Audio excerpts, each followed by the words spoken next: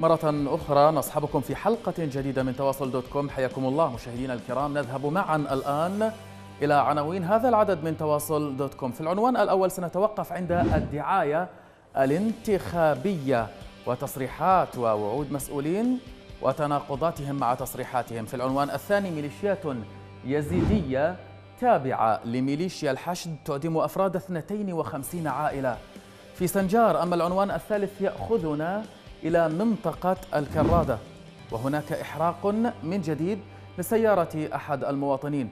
ثم العنوان الرابع والأخير نأخذكم فيه إلى مستشفى في الديوانية حيث يستقبل المستشفى أكثر من ألفي مصاب بالسرطان بشكل سنوي.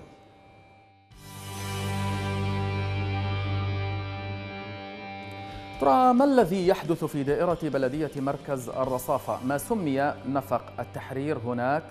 افتتح ثم أغلق. لماذا حدث ذلك باعتقادكم؟ وهل الأمر مجرد دعاية انتخابية؟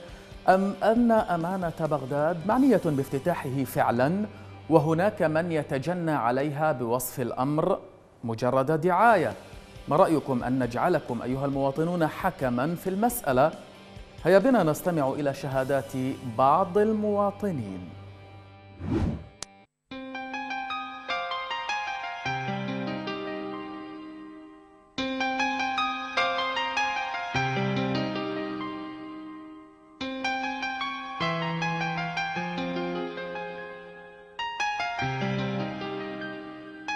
رأيته مغلق. فقط لافتة كبيرة أمانة بغداد تقوم بتأهيل نفق الباب الشرقي و و و و و و و ورأيت قطعتين ستايجر مكسرة أي أين هو الترميم الآن؟ أين هو الترميم؟ يعني مع الأسف فقط كلها دعاية وأخبار كاذبة ولا شغل ولا عمل فقط صرف أموال وبدون فائدة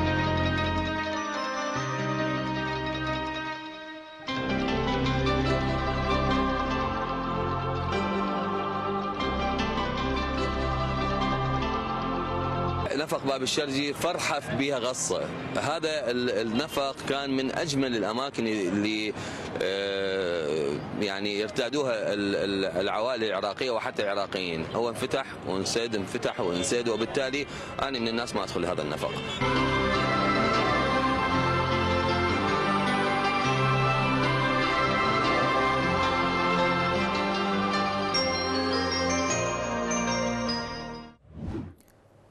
طبعا المواطنون هم الذين قالوا إنه إضاعة وتبديد للأموال بغير وجه حق وبدون أي فائدة تعود عليهم المواطنون من قالوا وليس نحن.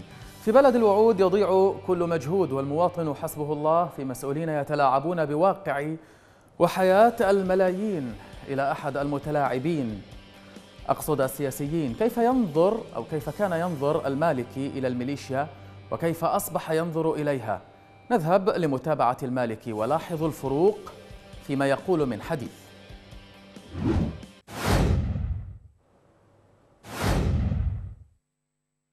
بس اللطيفة هم الأسماء كلها ثار الله وحزب الله وما أدري شنو ومهدي و... كلها باسم المقدسات لكنها تمارس الموبقات. حالف المطلب. هذا طبيعي جدا بل هو كلام موجود عندنا سابقا. فصائل المقاومة التي تريد أن تشترك بالانتخابات تدخل كلها, بقائمة كلها تدخل بقائمة واحدة وهذه فكرتي بالحقيقة أنا طرحتها نعم. وهذه الفصائل معروفة بدر والعصائب وكتائب وجند الإمام و...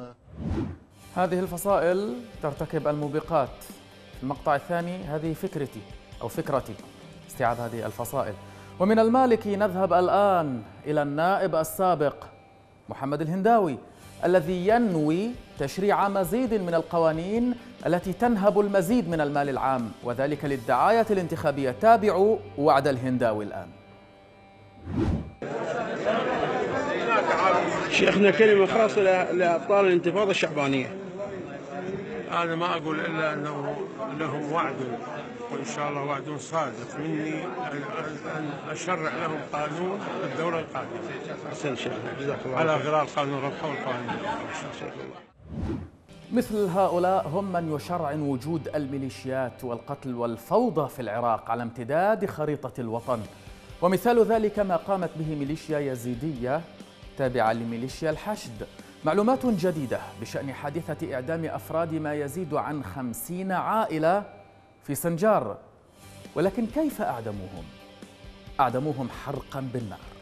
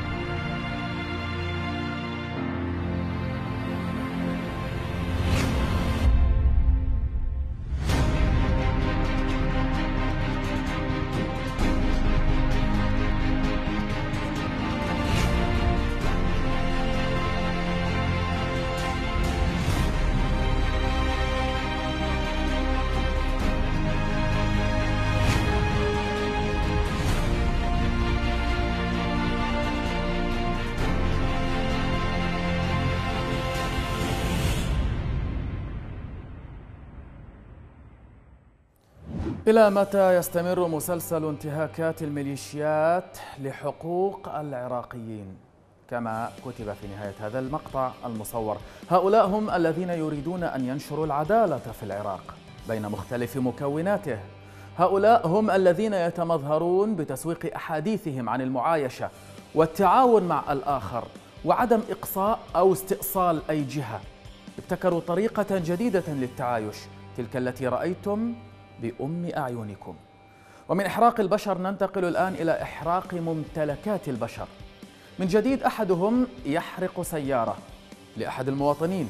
على ما يبدو أن هذه الظاهرة آخذة بالانتشار وسط غياب ربما يكون متعمدا للقوات الحكومية التي لا نعلم إذا كانت تعرف بمثل هذه الحوادث أنها تقع أو ربما لا تعلم. إذا كنت لا تدري فتلك مصيبة وإن كنت تدري فالمصيبة أعظم. نتابع الآن. شوف ليش ولاد البيت الفرق منهم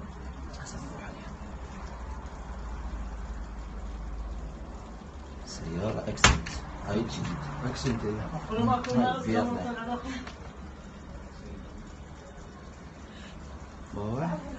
سيطر براحتي زي ولابس الثام لابس الثام إيه بس على الجامع قبل. حتى هو احترق ترى بين تحت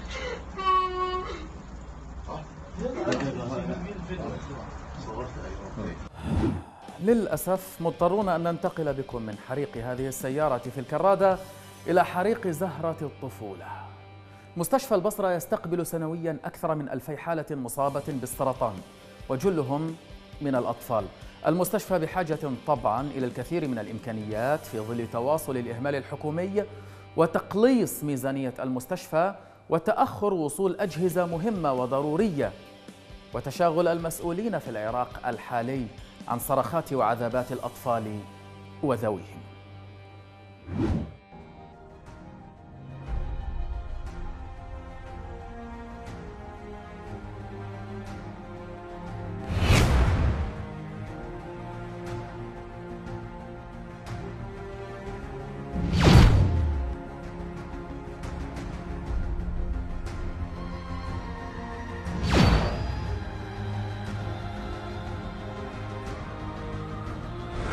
لا عندنا بالعراق عندنا حالة خاصة، حالة خاصة هي وجود الشركات النفطية والغازات والأبخرة المتصاعدة في مواقع العمل القريبة من المناطق السكنية. هذه قد تؤدي إلى زيادة الأمراض السرطانية في المحافظة ولكن بشكل طفيف.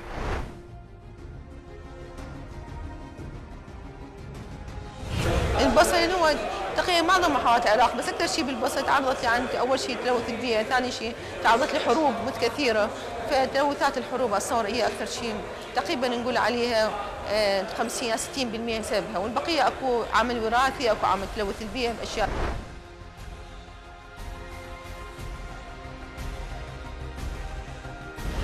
سبب الإصابة إحنا من دخلنا المستشفى إحنا نعرف هناك أكو أسباب. الأسباب هي تلوث البيئة جو من القصف الأمريكي.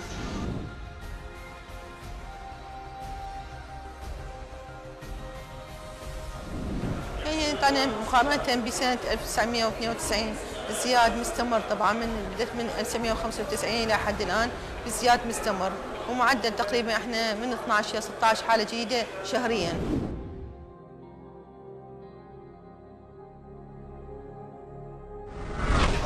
ضعيف. ضعيف. دعم موجود بس ضعيف. ما أقول لك إحنا ننكر نقول لا ماكو دعم. دعم موجود وهناك ناس لا ننساهم متبرعين من خارج المستشفى. جزاهم الله خير الجزاء.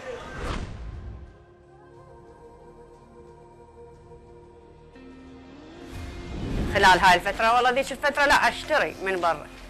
اي اي والله بس إحنا من يعني طلعت أصواتنا وحكينا وهاي توفر الدواء.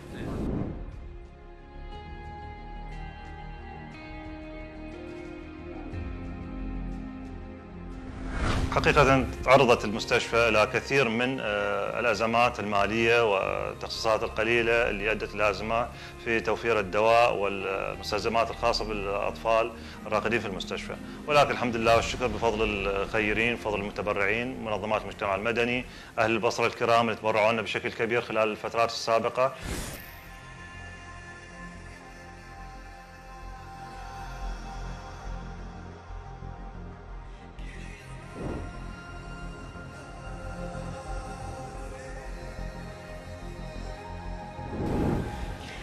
شنو ذنب هاي الأطفال؟ يعني هسه إحنا نطلب يعني من حكومتنا يعني تشوف لنا أسباب المرض يعني هذا المنتشر يعني مثل الانفلونزا يعني ليش ما مهتمين بينا؟ ليش ما مهتمين بأطفالنا؟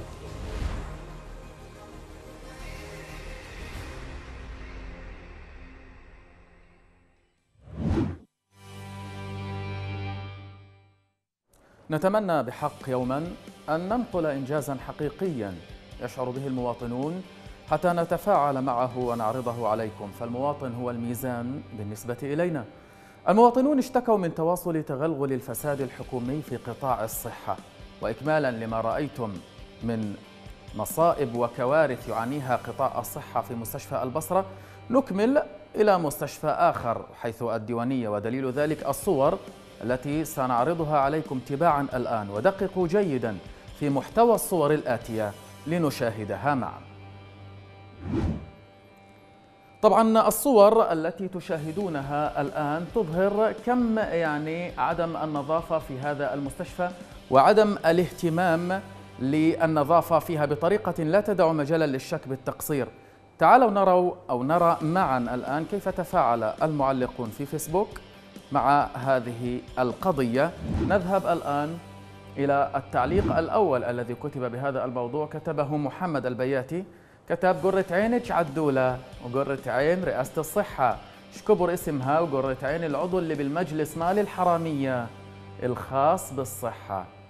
محمد البياتي يشير هنا على ما يبدو إلى عضو يمثل جهة معينة في البرلمان ويقول إنه ربما من يقف وراء هذا الواقع المزري في المستشفى إضافة إلى إشارة واضحة إلى يعني أمينة بغداد.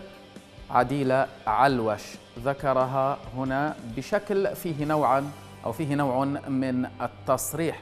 ننتقل الآن إلى أمير. ماذا كتب أمير؟ كتب ردهات تعذيب هاي مو مال نساء. أمير هنا يقول باختصار إن هذه ليست مستشفى وإنما مكان لتعذيب المرضى. إلى تعليق آخر. نشهد الآن تعليق آخر من هدى. هدى كتبت والله المريض يدخل المستشفى يموت من الوسخ والجراثيم. هدى أيضا تؤكد على قول يعني الناشط العراقي السابق وتقول إن هذه ليست مستشفى وإنما هي بيئة موبوءة كلها أمراض وجراثيم. لا تنفع المرضى بقدر ما تضرهم. المكان الذي كان ينبغي أن يقدم العلاج للمرضى ربما يعود عليهم بمزيد من الضرر فوق أمراضهم إلى تعليق آخر الآن. كتب أبو رماس صار خمسة أيام داخل ويا أبويا بالطابق الخامس. والله حتى صراصر موجودة بالردها. أبو رماس أيضا يؤكد على قول سابقيه ويقول إن هذه ليست بيئة صالحة لعلاج المواطن العراقي لعلاج الأطفال لعلاج كبار السن وإنما هي بيئة تنشط بها الحشرات بعيدا عن المحاسبة ولا المراقبة بعيدا عن المتابعة بعيدا عن أضعف الإيمان. وهو النظافة المكانية لهذا المستشفى الذي من المفترض أنه يقدم خدمات علاجية لمئات المرضى إلى تعليق أو منشور ربما كان أخيرا معنا في هذا الموضوع. كتبه عمر يقول صدق كذب هذا مو طوارئ هذا مزبلة. سرداب مال موتى أنظف منا. عمر هنا أيضا يؤكد المؤكد للمرة المليون ويقول إن مستشفى الديوانية الذي رأيتموه هذا ليس مستشفى. وإنما هو بيئة مريضة يعني ربما تضر المواطنين والمرضى أكثر مما تفيدهم للأسف. هذا واقع البيئة الصحية في العراق. واسألوا من نصبوا أنفسهم مسؤولين في وزارة صحة في أمانة بغداد وغيرها من المناصب التي سميت على الشعب مناصب دون أي إنجاز يذكر. بعد الفاصل نذهب وإياكم إلى تويتر.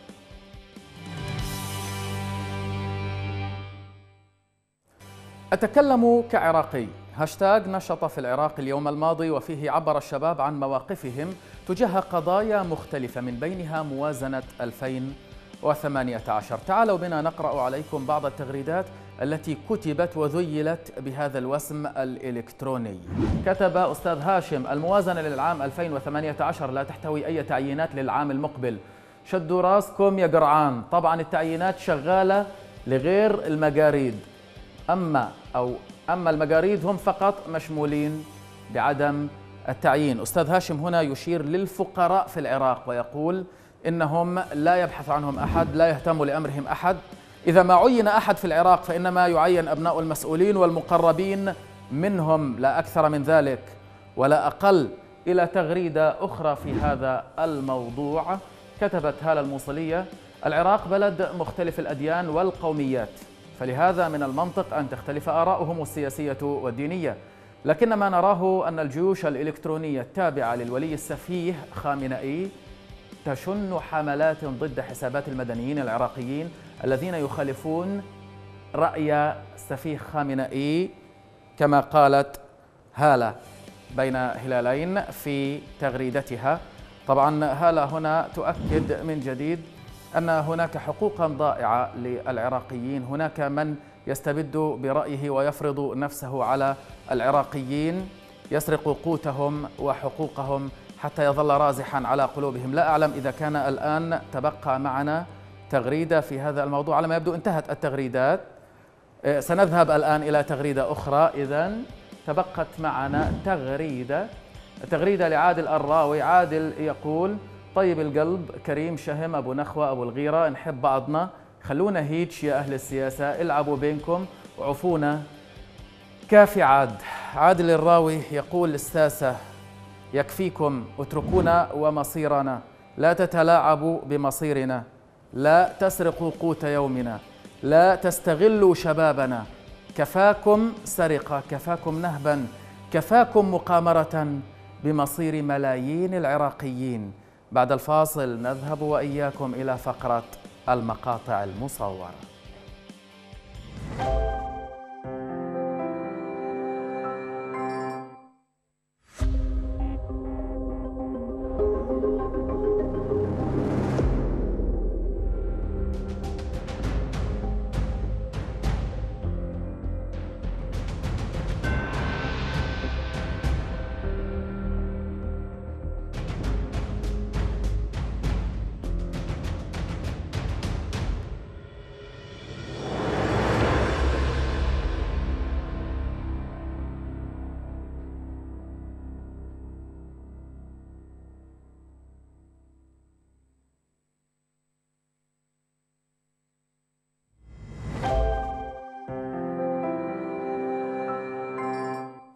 كيف كانت أحوال الفلسطينيين في العراق قبل الاحتلال الأمريكي وكيف أصبحت اليوم؟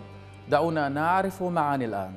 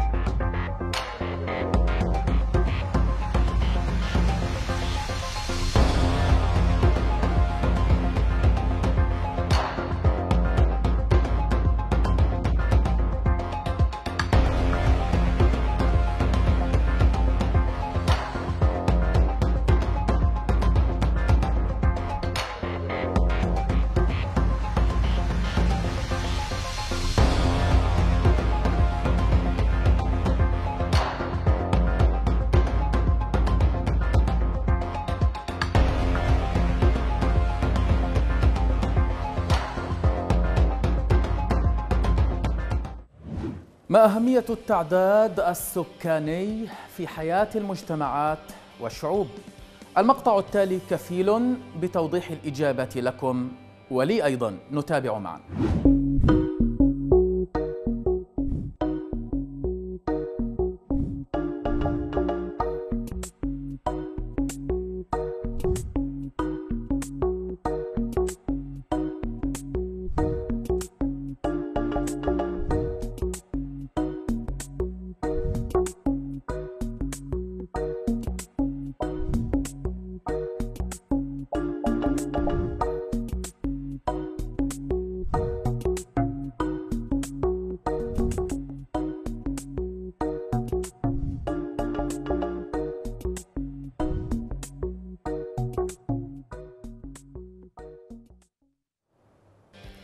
بعدما عرفنا أهمية التعداد السكاني وحساب أعداد أبناء مختلف الشعوب العربية كما أظهر المقطع الذي تابعتموه قبل قليل ننتقل وإياكم الآن إلى مبادرة غذائية حدثت في دولة ما هدفها إطعام الفقراء والمحتاجين تعالوا نشاهد ونشهد ما فعلوا من أجل الإنسان My name is Rick Namias. I'm founder and executive director of Food Forward. Our mission is to recover fresh produce that would otherwise go to waste and get it to people in need.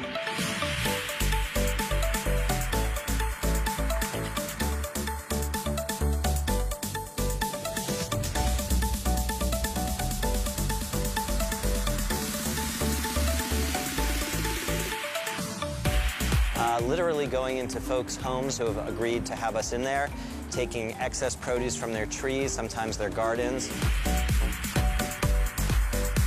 About 24 farmers markets every single week with volunteer teams and are out there with our trucks gathering pallets and uh, entire truckloads of food that is perfectly viable, but for whatever reason would otherwise end up in a trash dump.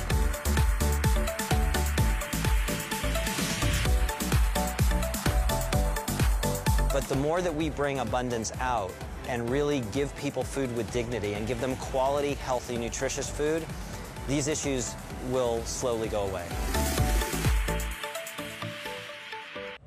بهذه اللمحات الإيجابية نكون مشاهدينا الكرام وصلنا إلى ختام كل ما لدينا في هذا العدد من برنامجكم تواصل دوت كوم.